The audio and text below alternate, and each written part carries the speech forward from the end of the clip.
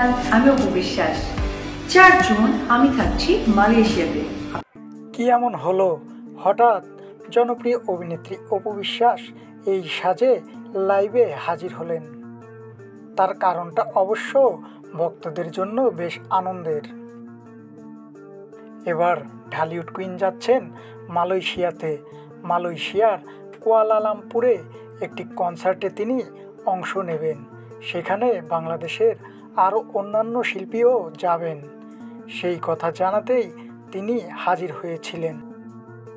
এ সময় তিনি ভক্তদেরকে তার এই অনুষ্ঠানে আসার আমন্ত্রণ জানান।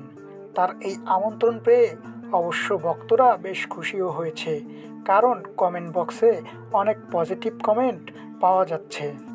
প্রিয় অভিনেত্রীর এই কনসার্টে অংশ নেওয়া নিয়ে আপনার মতামত অবশ্যই কমেন্ট বক্সে লিখে জানাতে ভুলবেন না।